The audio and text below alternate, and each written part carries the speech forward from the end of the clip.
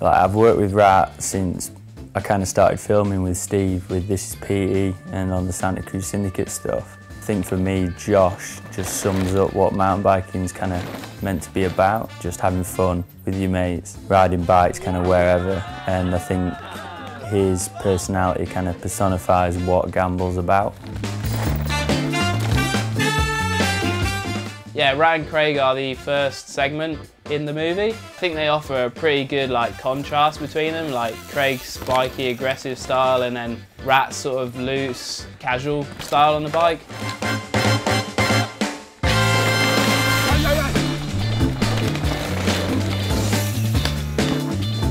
So yeah, Lousã's quite well known in the downhill world. There's been quite a few test camps there. Lots of teams have been there and a few races and stuff. Yeah, so we shot this in, I think it was April 2017. Humid. Today very humid. About, what, 30 degrees? It's freaking boiling, isn't it? They're like a cool version of the Power Rangers with tight jeans. We were all out on the balcony building bikes, getting ready for first day of shooting. We were building Josh's bike and he'd forgotten his rear axle. It's kind of the classic, we've all done it. And we kind of thought, oh, it's all right, we'll find an axle. And it wasn't that simple at all.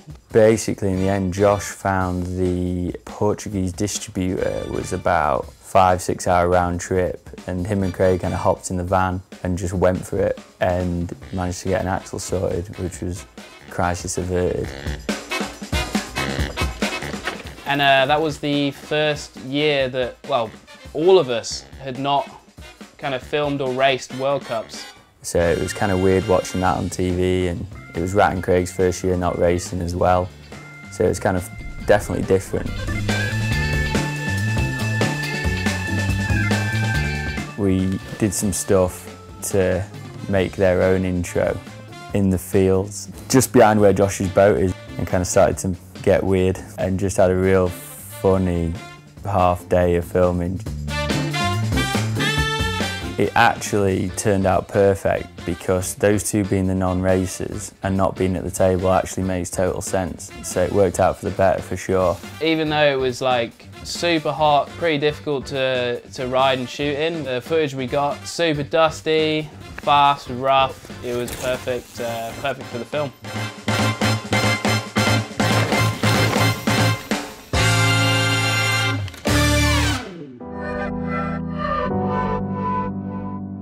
Uh, once we were done at Lousã, we had the idea to head north to Ponte Lima, another place where me and Josh had been before with Fox. Diogo, who runs that place, and he'd sorted out some accommodation. We were driving around with these coordinates and we couldn't find this place. It, we thought we knew where we were going, so we just went into a random family house. Bowled in while they were changing my kid's nappy. we were just in the middle of nowhere up the side of this mountain and we could see this kind of church looking place like right up in the distance up on its own. And there was all these like big metal shutter doors and we were like had this key and we were just like trying it. It wouldn't you know we were like oh, no no it's not working.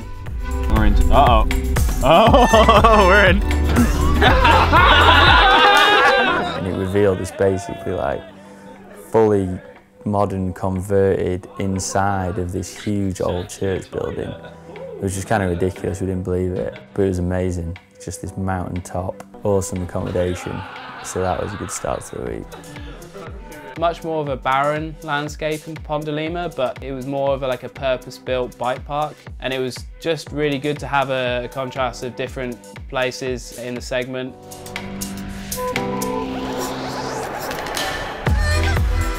Yeah, so we got lucky with Gamble the whole way through. We didn't really have many crashes, probably just a handful, but Craig's was probably the worst one we did have.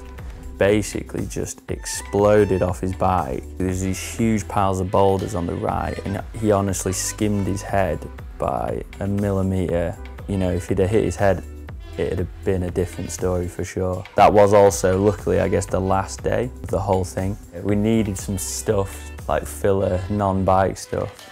All of a sudden, they're both naked in a cave. We've got the Steadicam out, just going full feral caveman, running around the place, banging rocks on their heads, jumping on the walls. That was funny. I think it's just it's just those two in a nutshell, really, just doing their own thing. Rat and Craig are so important to the downhill scene, so we kind of just had to have them in there. Starting the film off with their segment, I think it starts it in the best possible way, just having fun, going fast, and just having a good time with mates. I think that's what it's all about for those guys.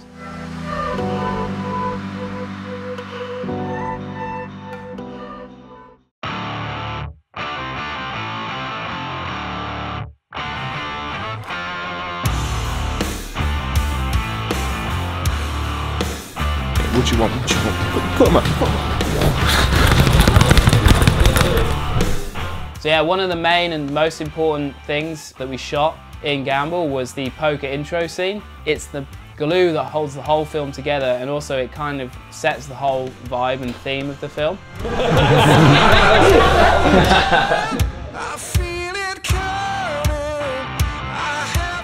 Definitely took a bit of influence from like the whole Guy Ritchie lock, stock, snatch kind of thing. All these kind of top dogs of downhill around the table, each with their own, you know, kind of characters and brought their personalities into it with the costumes and kind of, you know, just playing on who they were basically.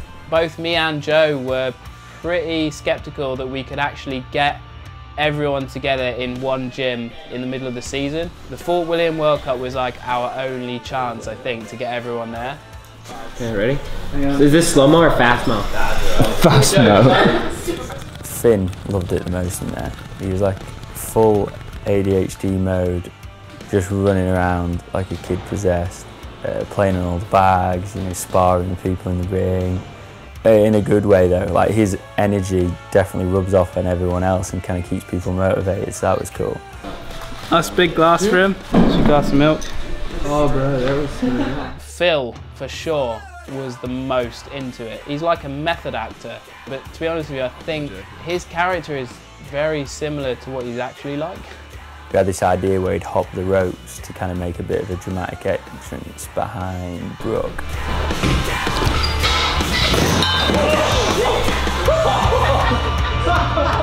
And kind of this moment of just like, oh shit. So yeah, we're just coming to the end. Everyone's getting a bit restless. People are throwing chips at each other. We've got everything we needed, so we're pretty stoked. This boxing gym has had some some champions go through it over the years, and there's loads of memorabilia on the walls. So it was an awesome place to be able to shoot the intro. It's do or die.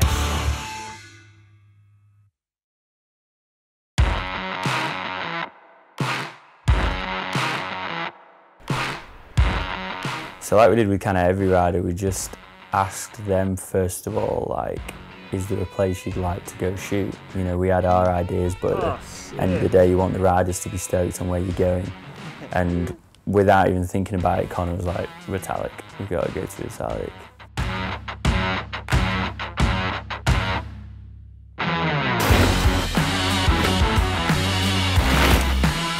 He's one of the last guys who's running flats, and you can't have a downhill film without at least one person riding flats. I mean, come on. First shot of the entire shoot, he comes in like a man possessed, and it's the shot you actually see as the first shot of his segment.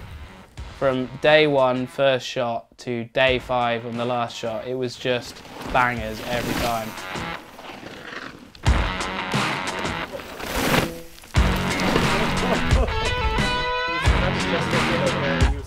when we turned up, it, all the staff are kind of, they're on the same wavelength, like they're all really cool, just love biking. Were really excited to see Connor and kind of have someone who's a world-class downhill athlete kind of there to, you know, hit their trails.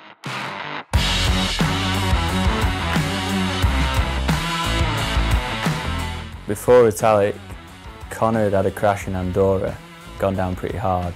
Basically found out he'd broken his finger pretty badly. Him and his team kind of decided that they were stoked on the project and he wanted to come out and film with us anyway, which is pretty amazing. So he just basically trooped on all week with two taped up fingers. I think we even taped him to the bar a couple of days. You see him crashing the credits at the end, hanging on to that crash for so long. It's because he's taped on basically and didn't want to snap his fingers off. Uh, how's it been riding with a broken finger up until now? not super nice, but just got to get her done. So strapped her up. Hope it hope it lasts.